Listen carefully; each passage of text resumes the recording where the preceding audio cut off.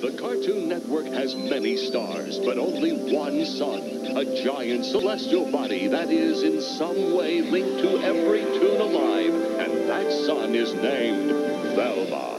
Every toon, everywhere, has a connection to the Cartoon Network's bespectacled super sleuth. Like Brainy Smurf, who's terrorized by Azrael, who's littermates with Sebastian, who tours with the Pussycats, who are assisted by Alan, who shares clothes with Freddy, who solves mysteries with Velma.